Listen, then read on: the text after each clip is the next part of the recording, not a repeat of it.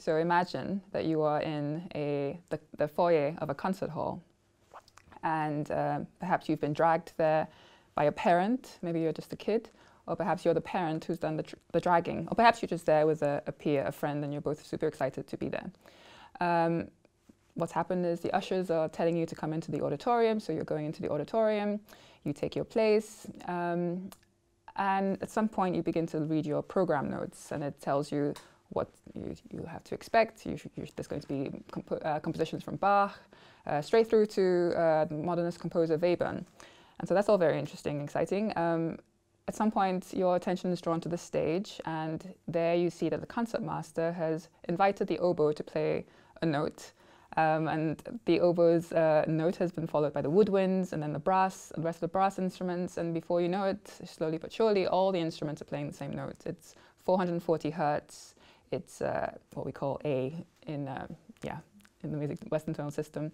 Um, and what happens, the conductor comes in to a round of applause and then there's a general hush as you wait for the music to start. So I started with this scenario because um, I thought it highlighted quite early on already just how many things can influence how we perceive music. Take for instance the fact that you are um, in a, an auditorium, so it's a live performance, you aren't just listening to the music, you're also um, watching it being performed. And we know um, that you know actually this can have a huge influence on how we actually um, hear the music or you know perceive the music. Um, another thing to consider is that you've been reading about uh, the music you're about to hear, you know, who, um, from who it, you know, who was composed by. Perhaps you've also been told what to listen out for while you're listening. So again, you have this top-down information, which we know um, from research can really influence how you receive the bottom-up information, which is what's actually coming in, in into your ears. Um, but I'd like to start um, and by sort of focusing on something that's even more fundamental than, you know, what's coming in, you know, through your eyes and, you know, what you've read about the music you're about to hear and talk about actually why the, the uh, performers actually chose to go through the whole process of tuning their instruments. And you might say, well, it's just so that they they play in tune, but it just reminds us actually that there's a huge organizing, organizing principle in music, which is that we use uh, very specific frequencies out of all the possible frequencies we can use. And that brings us to the notion of a tuning system. So a tuning system is basically a system that you know tells us, defines how we should select specific frequencies out of all the possible frequencies we, we could use. And in different cultures, we have different tuning systems. Most of them revolve around this notion of octave equivalence. And that's just generally the notion that two pitches are an octave apart if they have a frequency ratio of 2 to 1, um, and also if they sound similar, the same. And actually what happens across cultures is people take a, an octave and then they split it in different ways. In the Western tonal system, we split it into 12, and you have you know 12 notes making the chromatic scale. Um, in other cultures, like uh, gamelan music in Bali, um, it's actually split into five or seven. Um, and what happens is when you listen as a uh, you know, as a person who's enculturated to one or the other system, um, it's quite your system. What you're used to hearing seems, you know, perfectly logical. And when you, but when you listen to uh, another music in another tuning system, it might sound a little bit uh, foreign or exotic. And that's already going to influence very much how we perceive music. What tuning system has been used to actually um, uh, compose it? Another important principle is that of tonality. So I sort of threw in the fact that you might be hearing compositions from Bach through to Webern, and the emphasis here, or what I was trying to allude to, is the fact that you had you, you're going to be listening to compositions from 1700s and ones in the 1900s. And basically, what happened in the 1900s is that um, the, the, these composers often decided to um, not stick to tonality. So, what is tonality? I talked about tuning systems. Tonality is basically the fact that within all the pitches that we decide we can play music with, um, you can still compose music such that, you often compose music such that it only takes a, a selection of those um, pitches once more. So there's a hierarchy of pitches that are used to compose the music, and the idea is that compositions revolve around a, a tonic, a sort of central tone, and lots of musical cultures um, um, exhibit tonality in that they revolve around a central tone.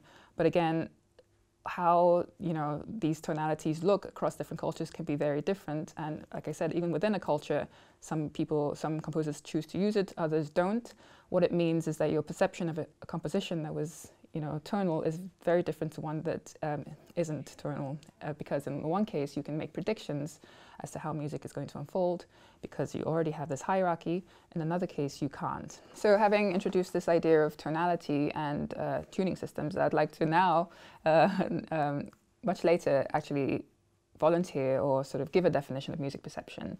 And music perception has been defined as just uh, the process whereby we sort of organize, identify, sort of um, try to um, uh, interpret musical information so that we have a representation of it and that so that we actually reach some sort of understanding of it. And um, it happens on a range of different uh, time scales. So we're listening to music now, but we're also sort of still listening to the same music, you know, tens of minutes later sometimes in the case of, you know, uh, you know, multi-movement uh, composition. And so what's interesting for researchers is to try to understand um, music perception at all these different time scales. So for instance, you might uh, care about uh, what's happening on this you know, scale of like hundreds of milliseconds. What can we actually do with that information? Well, we can decide whether what we're hearing is a, a violin or a, a flute. Um, and that's because um, we, psychological research has shown that there are different, you know, we have these dimensions that we use to try to distinguish between these, in, you know, instruments. Um, one of them is the attack time, so how quickly the note um, reaches its full intent. An instrument's, um, uh, when you play a note with an instrument, how quickly it reaches the full intensity of the sound. Um, and so in the case of, let's take a piano, for instance, it has a very short attack time. You hear it, it gets loud very quickly, and then it sort of uh, recedes again. Compare that with a flute, where it takes a while to build up to its full intensity. Those two things that the, the, length of the attack time actually allows us to dis distinguish them. Something else that allows us to distinguish them is basically how, um, how much energy there are in the um, higher frequencies of the sound. It's worth mentioning that any given, any natural sound actually has a fundamental frequency, the lowest, and also a, a range of other frequencies, what, what, are called partials above it. And depending on how much energy, how intense the um, those sounds are in the higher frequencies, uh, uh, an instrument can sound brighter or less bright. And again, we can use that to determine whether we're listening to this one instrument or the other. So that's kind of happening very quickly, actually. Um, but of course, we're also, when we're perceiving music, we're also um, picking out things like melodies, and that may take place over a few seconds. You decide that this is a melody. Um, and how do we represent that? Um, we don't just memorize pitches and say, oh, that's frequency 440, 466. Rather, we extract often just relative pitches and the contour. And so what we care more about is whether the melody goes, you know, notes go up and then down and then up again and then down for a long time, etc. So the idea is once we have that representation, we can use it as a template um, or something important with which to sort of keep uh, processing the music that we're hearing. And so we have attention and memory processes coming in when we start to um, try to make sense or perceive music's uh, long-term structure, large-scale structure. Um, in terms of the methods that we can use to try to understand music perception, um, basically there's, there's, a whole range. Um, um, you could say, well, I'm just going to do behavioral studies and ask people to tell me what they hear. Uh, you could decide to do neuroimaging studies, of course, and try to see what's happening in the brain when you're manipulating certain features of the music. Um, but there's a whole bunch of others you can, you know, approaches you can take. You could say, well, I want to carry out cross-cultural studies because I care about how being enculturated in, in a tonal system, for instance, um, influences how you then perceive this given sound. So if we take two people, different uh, uh, culture backgrounds, been enculturated to different musical schemes, how do we, how do they process this differently?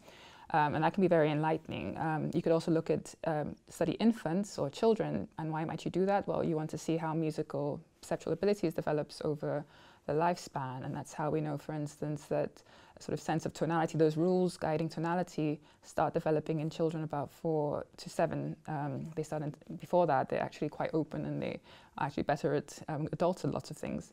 Um, but then you could also use study, you know, across species, and that's, for instance, how we know that octave, equi octave equivalency, this thing that we have where we sound, we think two notes sound the same if they're an octave apart, frequency ratio of two to one. Um, that, that's how we know that rats and actually monkeys have the same um, ability. And so I guess you could say um, that research into music perception can really be approached um, from a whole bunch of different perspectives. And uh, part of the interest is actually having bringing together all of these perspectives to try to understand how it works in, in general. Here's uh, some work I was uh, doing a few years ago. It was looking at um, um, individuals with a disorder known as congenital amusia. Now, these individuals will show difficulty, um, uh, yeah, recognizing that that song I'm singing or maybe humming is Happy Birthday. Now, most of us know the tune Happy Birthday. We've been hearing it since we were one, perhaps. Um, but these individuals will have difficulty with that. And so um, we carried out a, you know, a series of studies to try to understand why that might be, why they have these difficulties. And um, just to give an idea of what we found, well, the first question was, do we have difficulty learning, um, do they have difficulty rather learning the structure of uh, the tonal system that you know, they should be exposed, that they've been exposed to? Um, what we found out was that it wasn't that simple. They seemed to be able to learn the structure in, of tonal sequences just as well as controls. Um, we then asked, well, are they able to, um, even if they aren't able to explicitly say that they've heard, you know, a wrong note in a melody, for instance, um, is it possible that they're implicitly processing it? And um, interestingly, what we found was that that was the case. So they were actually able to um, um, recognize implicitly that, you know, this note is more unexpected in that context than the other one in that context being the melody. Um, and then we did some um, EEG to show, in fact, the brain is tracking information that they can't consciously um, um, report. And so we found out that there was this sort of, um, um, yeah, there might be, the disorder might be one of, you know, conscious awareness of the information that they actually do have. But, you know, that sort of question then opens up a whole new bunch of, uh, of questions, which in the end, I guess, yeah, you have to decide what you study at any one time. But in terms of SRI, I think, I guess, in terms of the broader question of are there any, you know, any um, outstanding questions? I guess it depends on where you decide to focus. So I already said how many different approaches you can use to study music perception. Um, those people who are working on, you know, looking across species will have, you know, tons of questions within that. Um, I'm currently working a lot on um, emotion and music-induced emotions, and basically um, there with every um, experiment that I carry out, there's you know, five different follow-up experiments that I need to carry out to satisfy my curiosity.